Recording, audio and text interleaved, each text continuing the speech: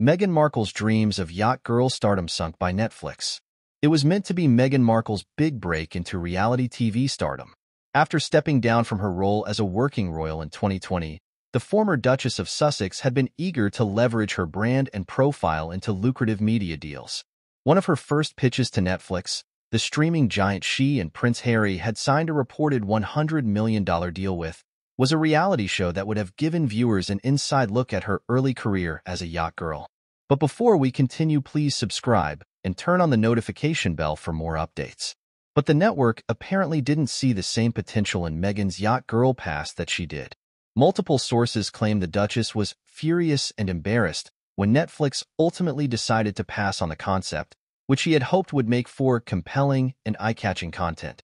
The proposed show would have followed Meghan and other young women working on luxury yachts, catering to the whims of the wealthy and well-connected clients who could afford such an exclusive mode of travel. It was a world Meghan was quite familiar with, having worked as a briefcase girl, on the game show Deal or No Deal before landing her breakout role on the legal drama Suits. According to insiders, Meghan was convinced this behind-the-scenes look at the luxurious yacht girl lifestyle would captivate audiences and help solidify her transition from royal to full-fledged media personality.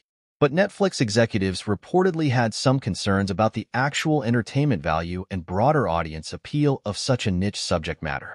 Meghan is really frustrated that Netflix didn't feel her Yacht Girl show was going to be a hit, a source close to the Duchess told Page 6. She movie pitched it as a really glamorous, juicy expose of that world, but the network bosses were worried it was too specific a topic that wouldn't have mass appeal. Another insider claimed Meghan felt embarrassed and humiliated by Netflix's rejection, especially since it represented the first major setback in her and Harry's post-royal media ambitions. This was meant to be the project that got her Hollywood career off the ground, the source said. Of course, the Sussexes' deal with Netflix is about much more than just one failed reality show pitch. In addition to an as-yet untitled documentary series focused on the Invictus Games, founded by Prince Harry, Meghan, and her Archewell production company are also developing a family-focused animated series called Pearl.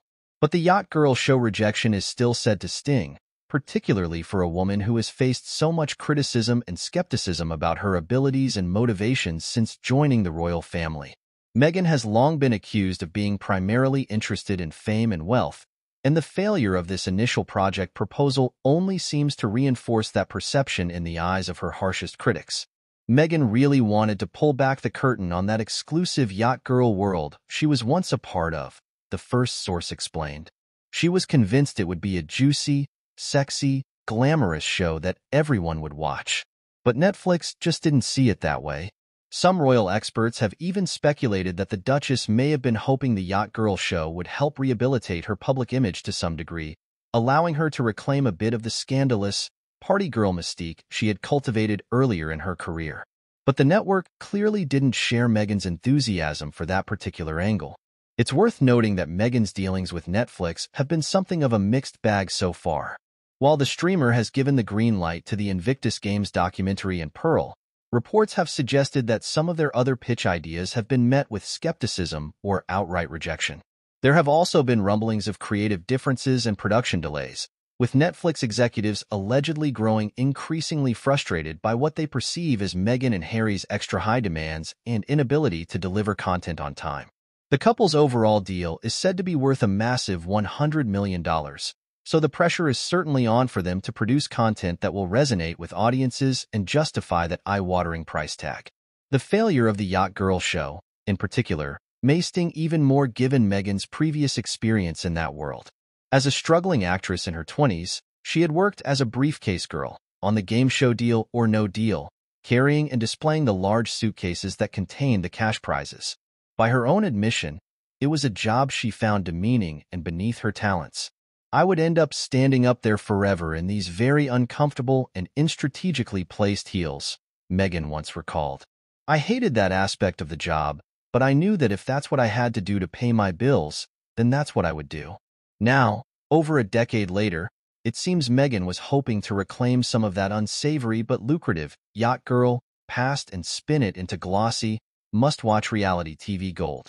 But Netflix, it appears, just wasn't buying what she was selling. Of course, this is hardly the first time Meghan has faced setbacks and rejection in her quest for fame and fortune.